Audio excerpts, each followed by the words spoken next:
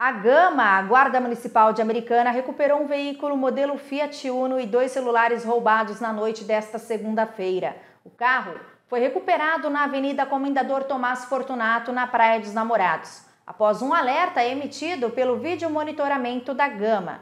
De acordo com a Gama, os ladrões armados renderam o proprietário do carro quando chegava ao residencial Nardini. Os criminosos levaram um televisor Samsung de 65 polegadas, três celulares, documentos, cartões bancários e alianças. O veículo roubado estava no estacionamento externo de um condomínio. Os patrulheiros não conseguiram localizar os criminosos. Já os celulares e os documentos foram encontrados próximos à passarela do bairro da Cidade Jardim, dentro de uma bolsa feminina. O caso foi registrado na Central de Polícia Judiciária de Americana. Já as vítimas compareceram ao plantão policial e o veículo e os celulares foram devolvidos aos proprietários. Andressa Oliveira para a Rede Todo Dia.